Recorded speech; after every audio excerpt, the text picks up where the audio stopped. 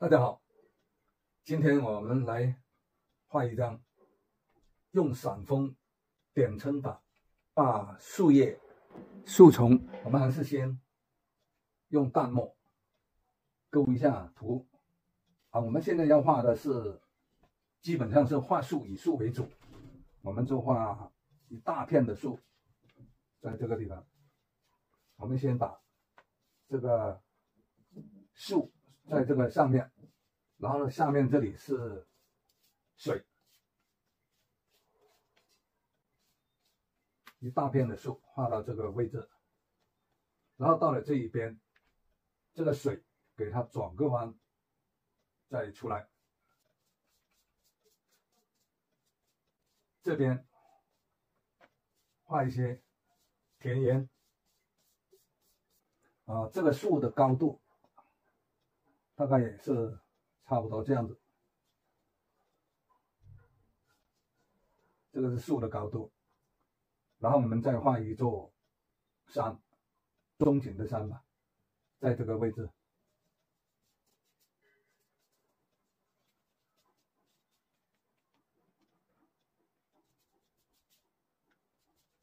然后这边还是画一些树。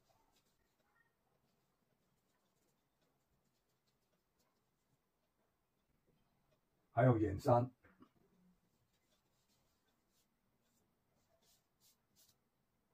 远山也给它分一下层，大概的构图，先这样子。水面我们可以看情况先构一下，然后呢可以调整一下它的宽度。好了，我们看水面下面这里的地方，我们还是要。画一些水边的石头，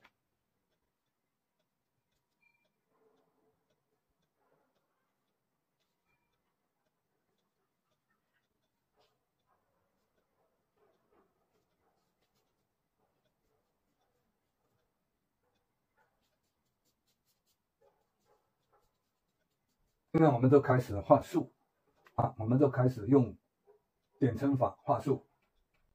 可以用偏锋点，啊，也可以用中锋点，看是自己的需要。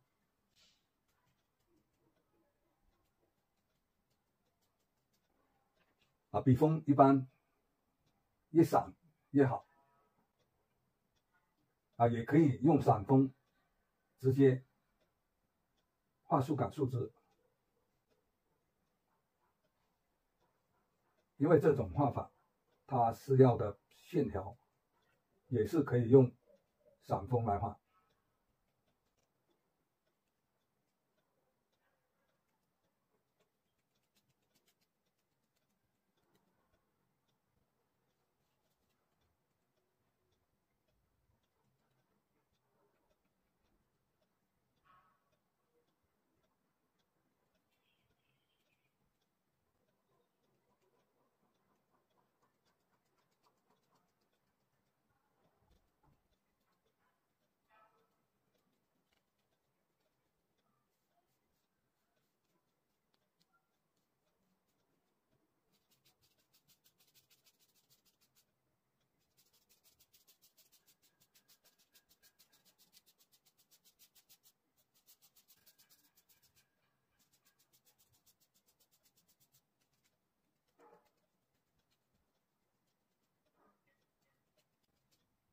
只要控制好这个疏密，而且是黑白灰之间的对比。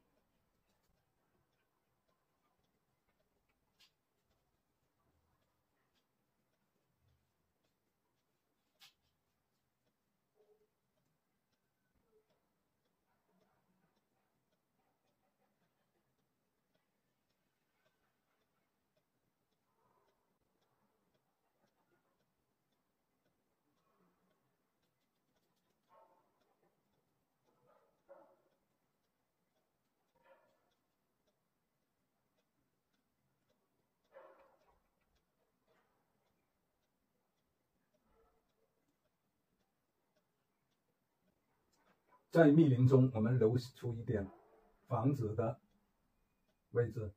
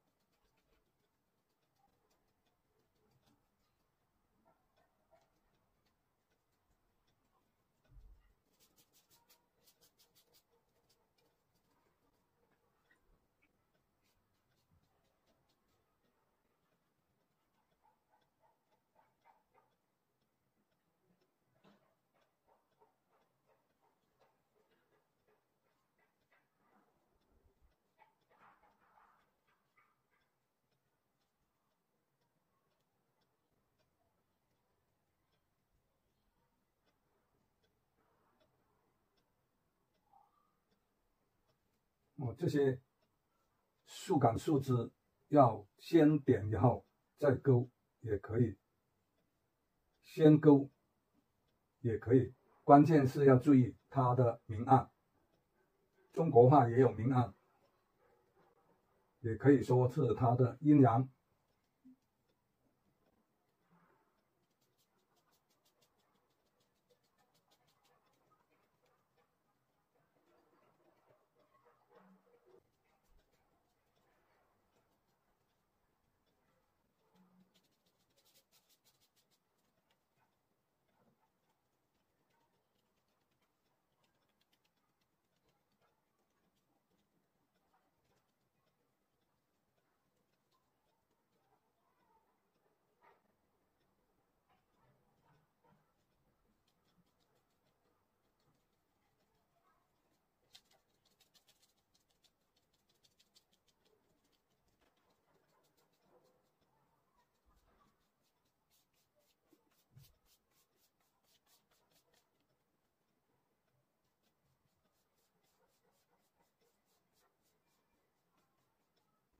树要注意它的高矮，而且要分组。画树是一组一组的，不是一棵一棵的。我们点的时候也要注意笔上面的墨和它的水分有多少。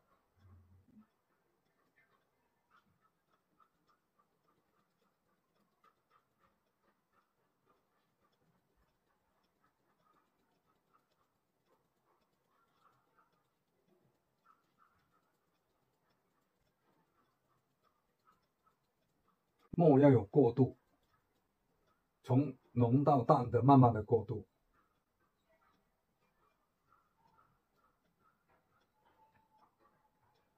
点也要有墨的过渡，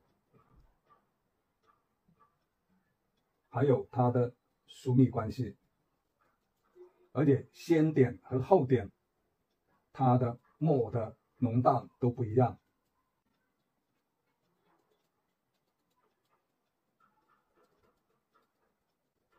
先点了这些浓的，等一下再来点这些淡的，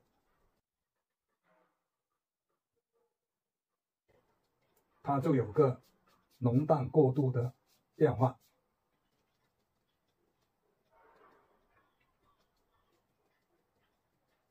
外围我们可以画一些啊不同的树种，比如说各自称、介字称。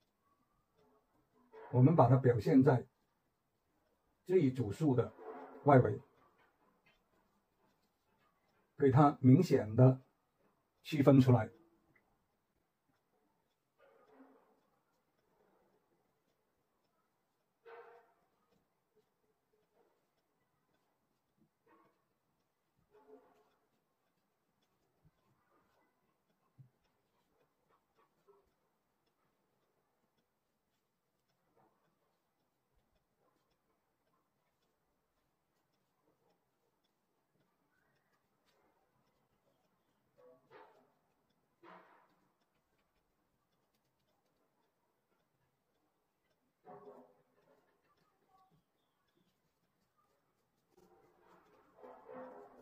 画树的丛林要复杂，不要画过太过于单调，而且要注意墨的疏密浓淡。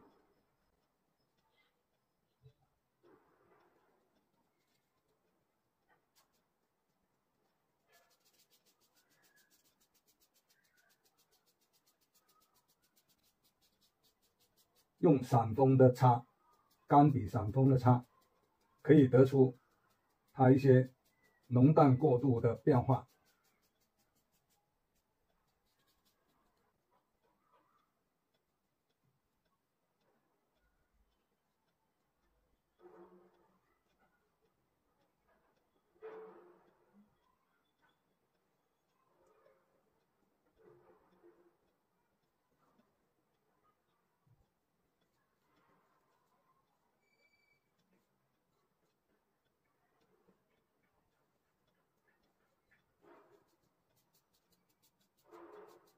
就叫先勾后抻插。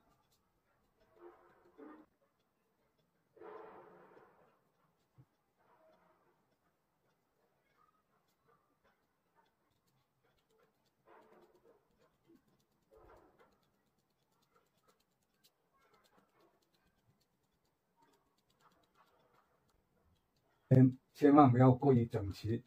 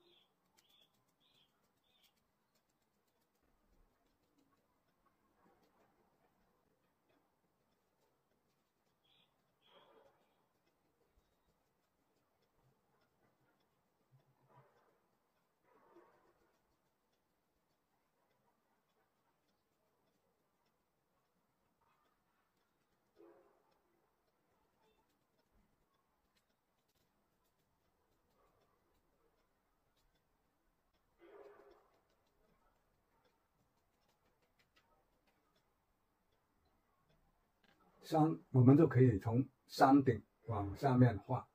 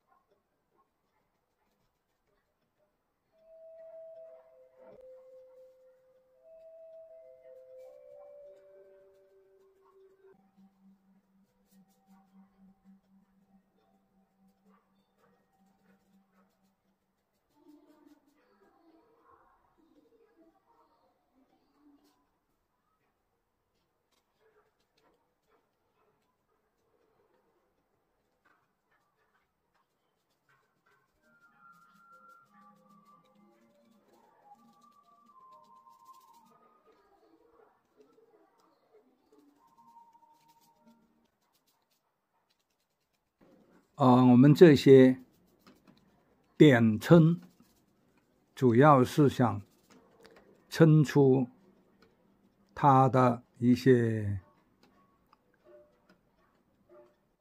笔墨的过渡变化。这些点主要是点出一些疏密关系，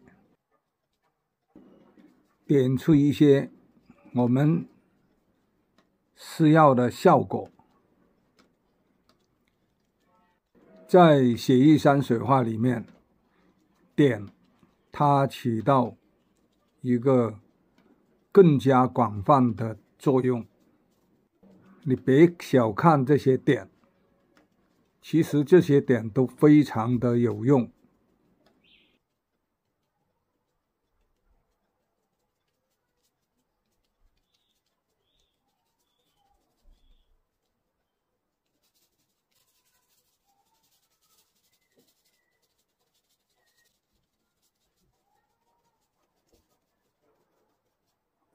好了，这一节前景的树和山就先画到这里，啊，下一步再画中景和远景的山。我们继续画第二步，先把这个地面用干淡墨把它拖出来，然后把这一边的地面拉高、拉远。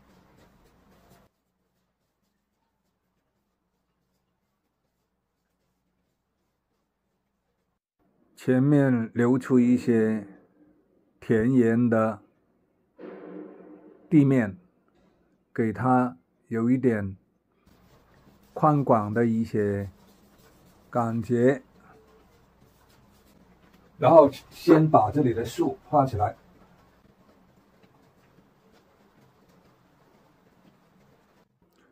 中景的树和近景的树一样。应用的是以点称为主。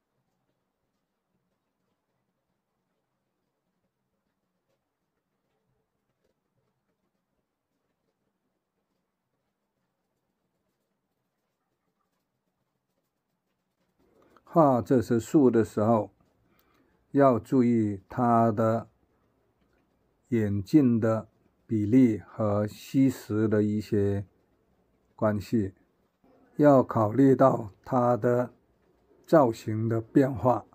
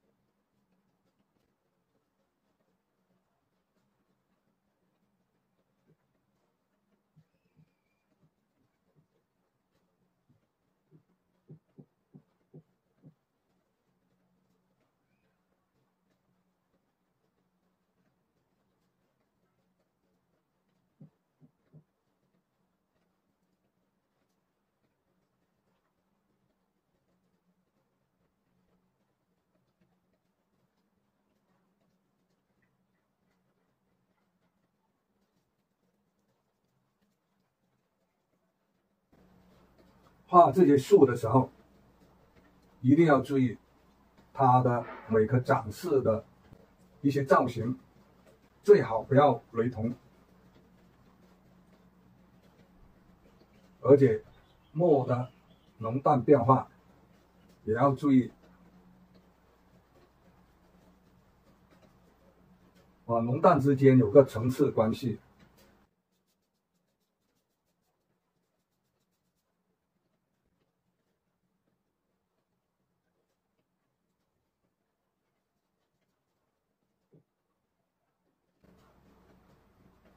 啊，注意用笔上面的点，点出一些结构来。当然线也要，可是点线面结合起来用，这是都是必要的。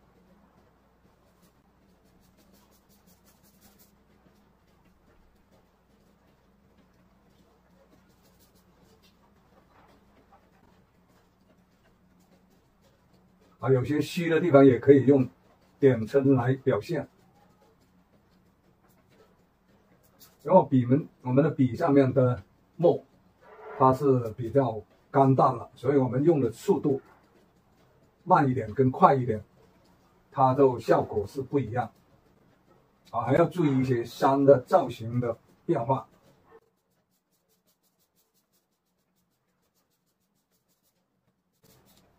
可以先用一些抻插法，用淡墨把它的造型先撑出来，然后再去补结构。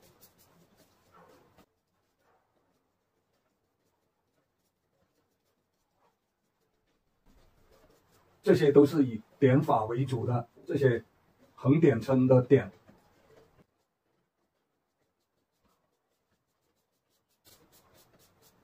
我们画的时候也要看山的它的气势变化，来进行用笔。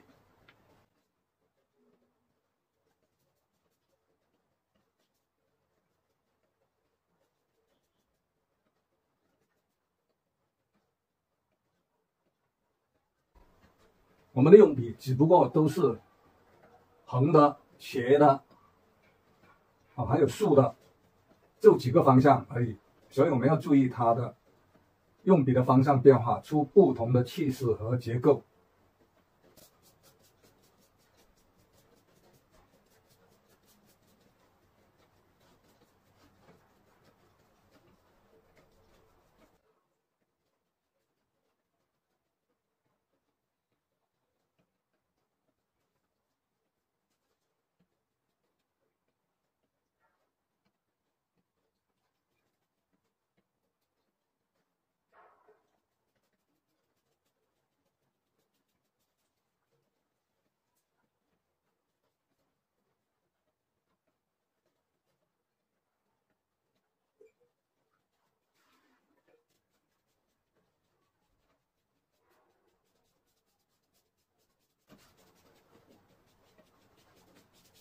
我想擦的均匀，主要还是用笔肚，不要用笔尖。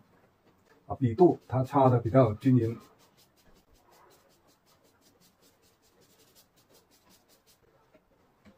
所以我们用笔就是用武器，一样的道理。这些山石结构的效果，我们先擦出它的大的块面。然后再逐步慢慢的调整它的细部结构。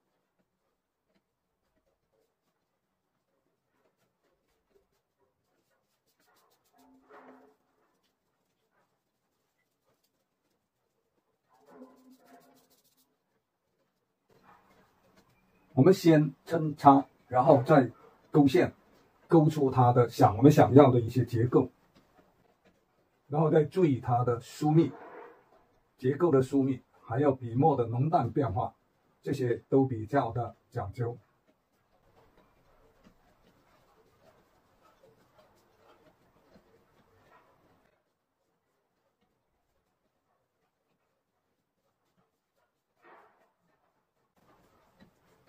啊，到了三角下面这里，它的结构就不要过于清楚，因为三角下面是比较虚的。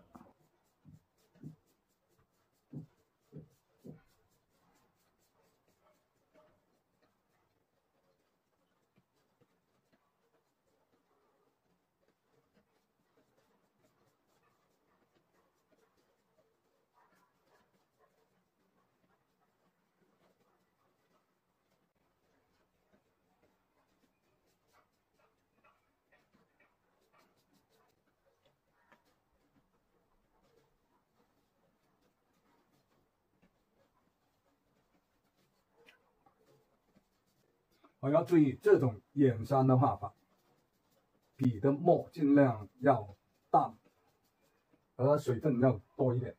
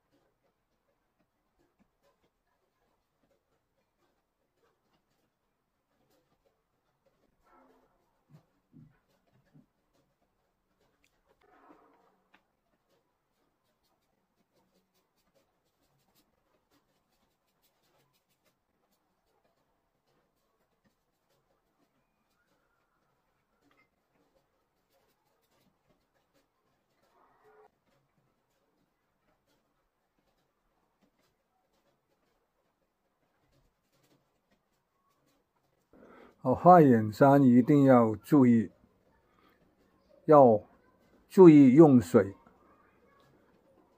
而且要画出眼山这些云雾的效果，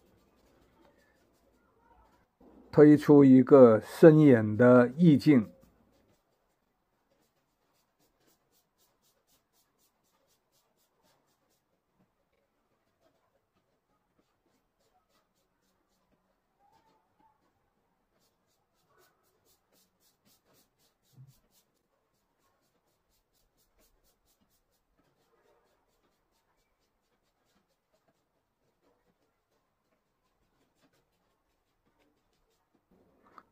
好了，第二部分，中景的树和远景的山和云雾基本上就画完了。要注意，记得继续收看下面的上色第三部分也是非常的重要。大家好，下面这个视频就是前面我们讲的用散锋点春法画树丛，还有点树叶的一个画法。啊，今天这个是第三步，第三个步骤就是给这张画上色彩。其实这种画法上色彩是最后一道最关键的一个步骤。好，下面我们就开始上色彩。啊，我其实我们要上色彩的话呢，它是主要是四个颜色，基本上就四个颜色就够了。一个是藤黄，一个是花青，一个是太青蓝，还有一个就是赭石，再一个就是朱标。四个颜色配合起来，啊，拿来调，调完以后，我们再来染。下面就是主要讲的就是给树上色彩，还有一个就是田园。啊，第一步还是先染赭石。赭石的话，先从下面这里的地面开始。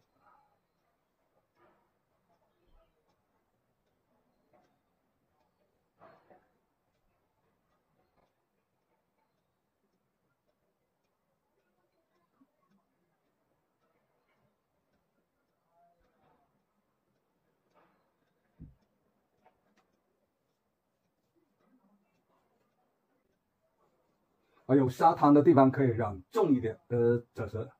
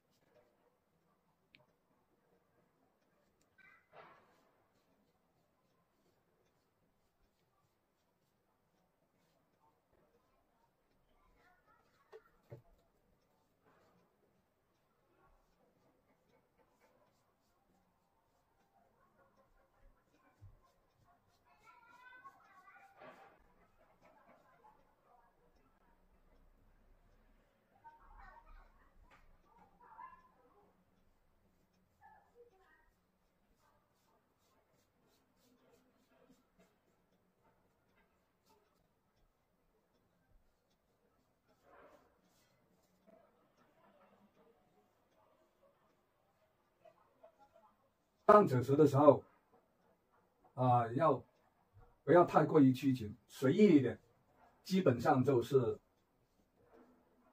有墨的地方稍微染一下，就像这些田埂啊，这些地方染一下就可以了。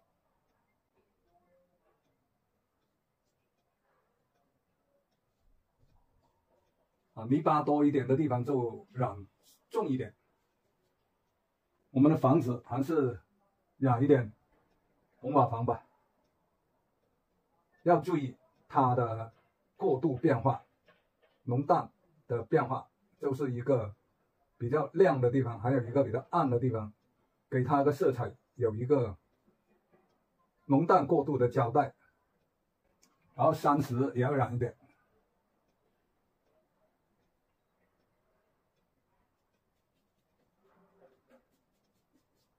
注意。用水分多一点，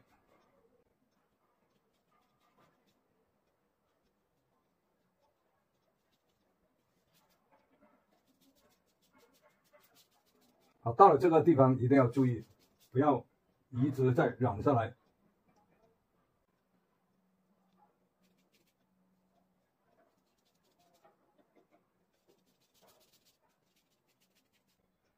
啊，这些地方空白的地方可以直接。染水，给它慢慢的渗透，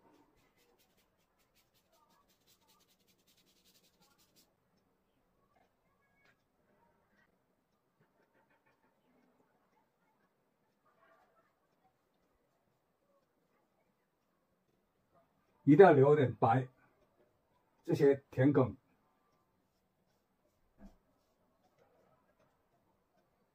等一下我们染一点绿色，可以显示出它这个田园的味道。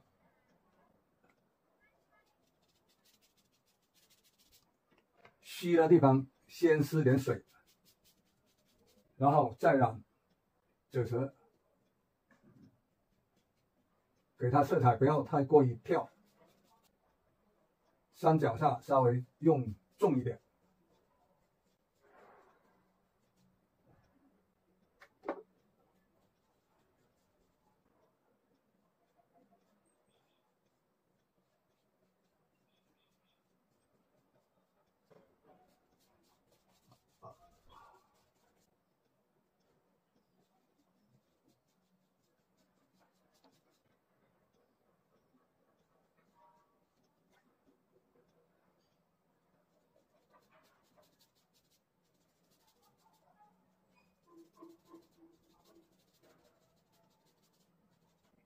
好，下面开始我们染树的色彩。树的色彩要有变化，先从下面慢慢往上面染，然加点水，再加点水，从下面染。这个是一个过渡的变化。树的下面这里可以慢慢的加一些。绿的，然后树苗的顶部可以加一点藤黄，给它有个过渡的感觉，这个非常重要。然后实行慢慢的变，这边给它有个变化。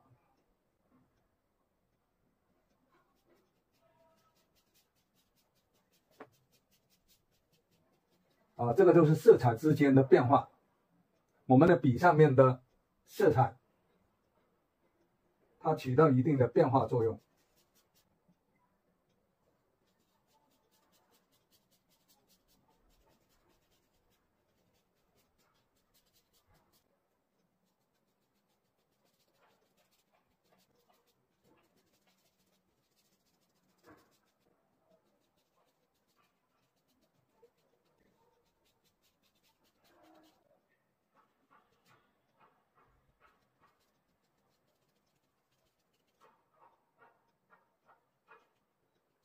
啊，这一部分它的色彩变化，就是还是藤黄和绿，其实就是藤黄和花青或者是太青蓝来调。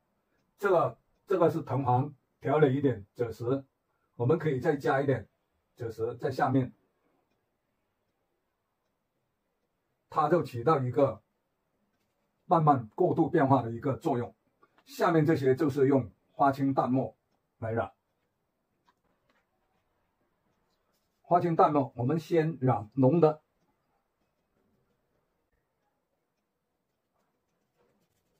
先染最浓的地方，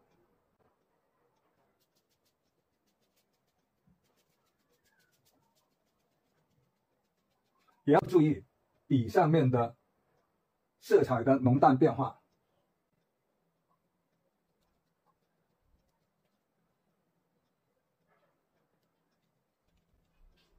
等到这个笔淡了以后，我们再去染淡的地方，啊，这个湿染法和和那个干染法是不一样的。下面这里是干的，我们染进去它是不一样的，它是比较浓。假如说我们湿水了，我们用笔先湿一点水，然后再来染，它就没有这么跳，没有这么浓。这个就是湿染法和干染法的一个区别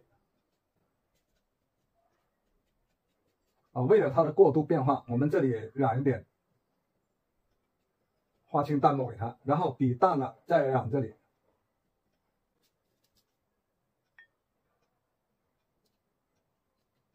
哦，这样子它就有个层次变化的过程。下面这里也要染。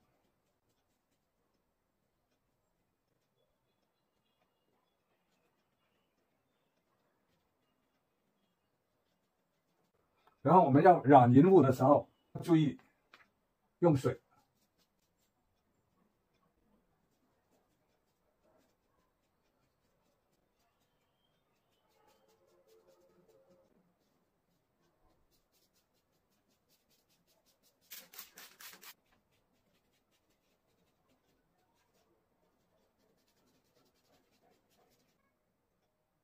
啊，一定要按照它那个笔录来染。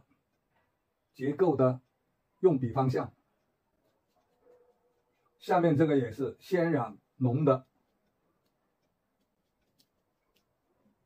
然后笔上面施点水，再染，它就有个浓淡的过渡关系。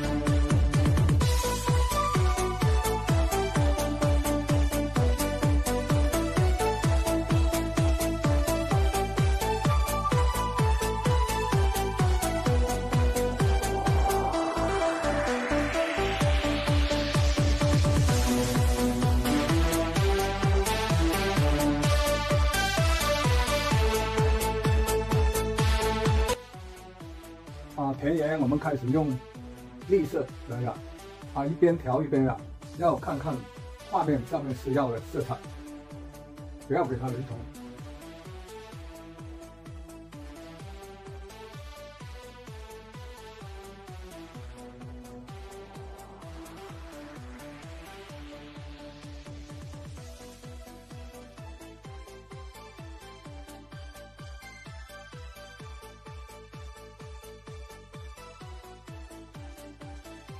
给它起个变化作用，绿的、黄的，慢慢的过渡，有点变化作用。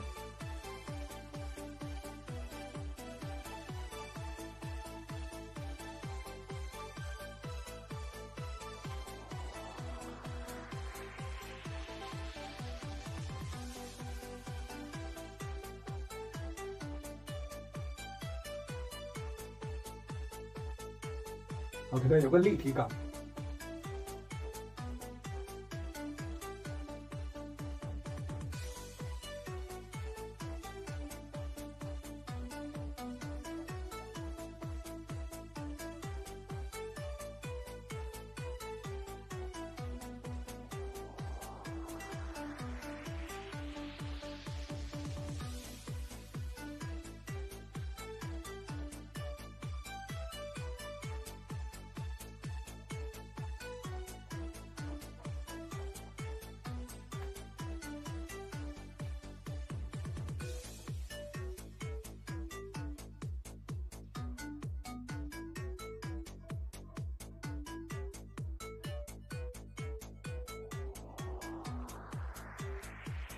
好了，色彩上完了，下面就等干看它的效果。大家好，这一张画我们是画完了，可是呢，江边这里呢是太空，我们必须要给它增加一点内容，就是我们在江面上面怎么加一些小船。画小船，我一般。比较喜欢从船棚下面开始画起，然后再画船帮，在江面上加一些小船，增加一些意境。画小船主要是啊，注意它的分布关系。就是说，我就要想好要画多少艘，啊，它的方向、距离和它的组合关系，包括它的结构。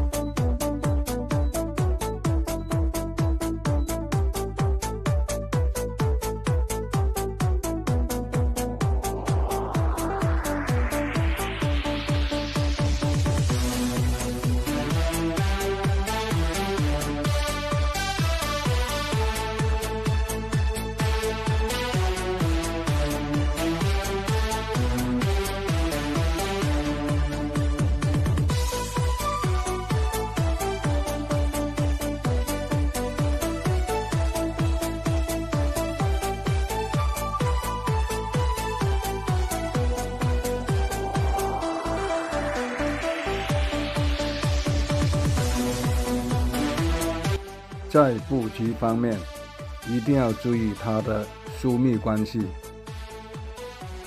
好像现在这个布局它有点散，所以我们在密的地方再加一艘船，两艘船，给它增加它的疏密关系。